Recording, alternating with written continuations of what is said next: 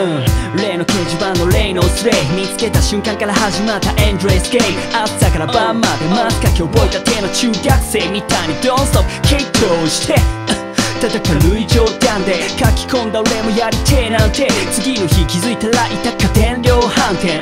知識がねえから買ったしもマイク。10年が経っててめえの環境や立場もう超変わってどうかしてるぜいきなり。知事の父とか諸説なんかより事実は気になリーダー、うん、意味も義務もないこの創作操作でも俺らの証は消えずここにそうたる山だ。We go in!